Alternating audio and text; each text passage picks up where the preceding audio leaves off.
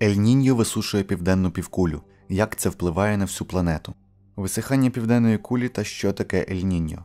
Усім відомо, що вода є ключем до життя на Землі, але менш відомим є той факт, що лише близько 1% усієї води на планеті це прісна вода. Це єдиний відсоток від усієї води, який доступний для людей, рослин і наземних тварин. Решта знаходиться в океанах або замкнена в полярних льодовиках і скелях. У світі, де змінюється клімат, глобальний розподіл цього проценту набуває абсолютно нового значення.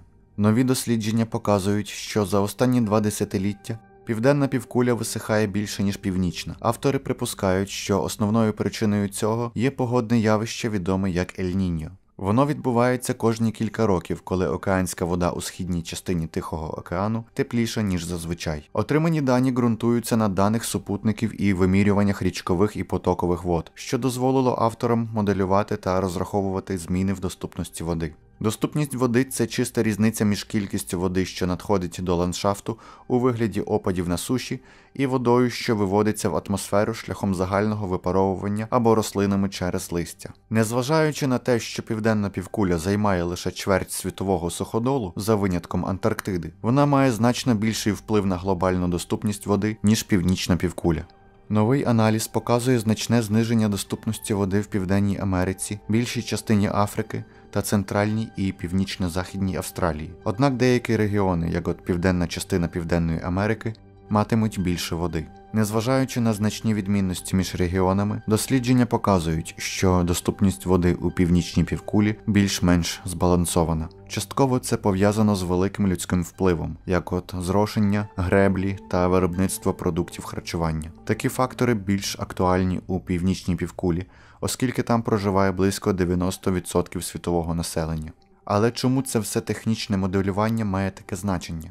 Які можливі наслідки, якщо південна півкуля висохне більше, ніж північна? Те, що відбувається і на півдні, впливає і на північ. Частково відповідь знаходиться у регіонах, які можуть відчувати більш значну посуху. Південна Америка включає в себе амазонські тропічні ліси, які є ключовим регулятором клімату, а також глобально важливим середовищем існування для видів і домом для багатьох корінних жителів. Посуха тропічних лісів може зменшити рослинність і збільшити ризик пожежі. Це погана новина для людей і тварин, які житимуть у лісі, і може вивільнити мільярди тонн вуглецю, які в даний час заблоковані у лісовій рослинності та ґрунтах. Південна Америка також є великим сільськогосподарським експортером сої, цукру, м'яса, кави та фруктів для світового ринку. Зміни в доступності води підвищать проблеми з продовольчою системою в усьому світі.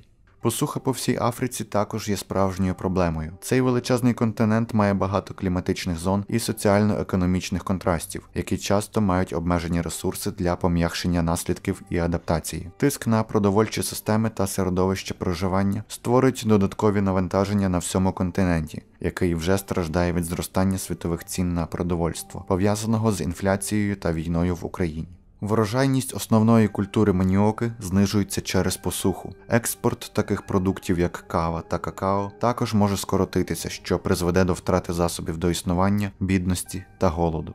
Північно-західна Австралія є однією з великих пустель країни, але було б великою помилкою вважати регіон порожнім і тому неважливим з точки зору осушення, як і більшість екологічних проблем рідко доцільно ізолювати один аспект від іншого.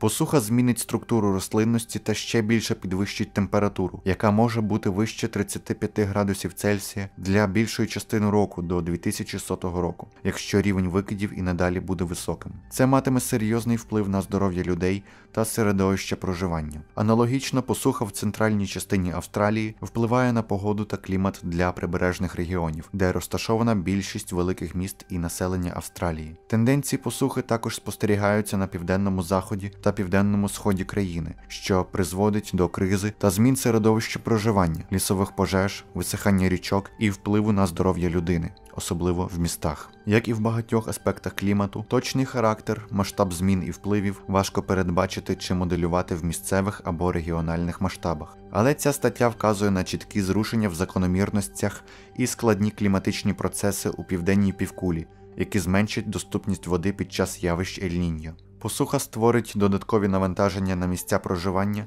та види в ключових регіонах. Це також вплине на людське населення з різними можливостями адаптації та, зрештою, на наші глобальні продовольчі системи. Хоча південна півкуля це переважно вода, те, що відбувається там, дійсно має значення для всієї планети. Текст читав актор театру імені Франца Кавки Назарій Боденко.